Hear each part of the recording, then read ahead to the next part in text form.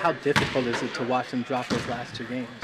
Uh, yeah, no, uh, it's it's it's uh, it's definitely hard to watch. Um, anytime, like, I mean, it's hard to watch even when you're winning.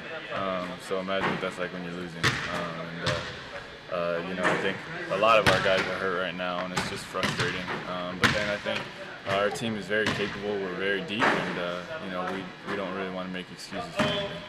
What would it say about this team if, despite the injuries, you guys were able to kind of rally together and, and get out of the slump and, and really start to pull things together? Yeah, I think that's um, you grow a lot like that. I think uh, you know we've had guys who started the season not in the rotation, and uh, now they're playing at a high level. Terrence, um, AB, uh, you know, that's probably the two off the top of my head. But um, uh, we you know we have a lot of capable players, so I think uh, you know as long as as long as whoever's healthy is ready to go, I think we have a shot at winning every night. Uh, yeah, I'm feeling better. Um, and this is the first time I really shot since I got hurt, so um, you know just trying to get my rhythm back.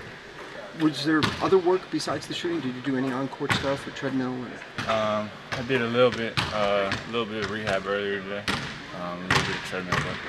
So, what does this tell you or tell us about next week or whenever you might be able to? Um, I'm not really sure. Uh, I think a big, uh, I'll know a lot more tomorrow, like how it responds. You know what I mean? Um, like I pushed it today, and then hopefully tomorrow I'll feel good, and then. Uh, um, like I haven't really gotten to cutting or, or like running, like sprinting, any of that. It was just all standstill. So um, we'll see. I, I, I don't really know.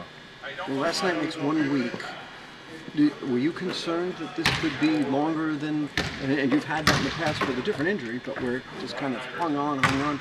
Is that a worry that it could happen again? In terms of trying to get back? Yeah, lingering thing as opposed to the timetable they gave you.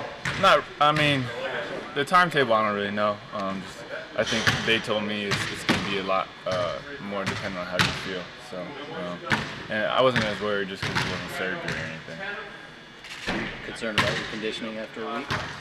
Uh, I mean, yeah, obviously uh, everybody after a week off, you know, you go you go every day and you take a week off. So, um, but I think before I try to get out on the floor, I, I want to make sure I help my team when I get out there. So um, make sure my conditioning is right before I get out there.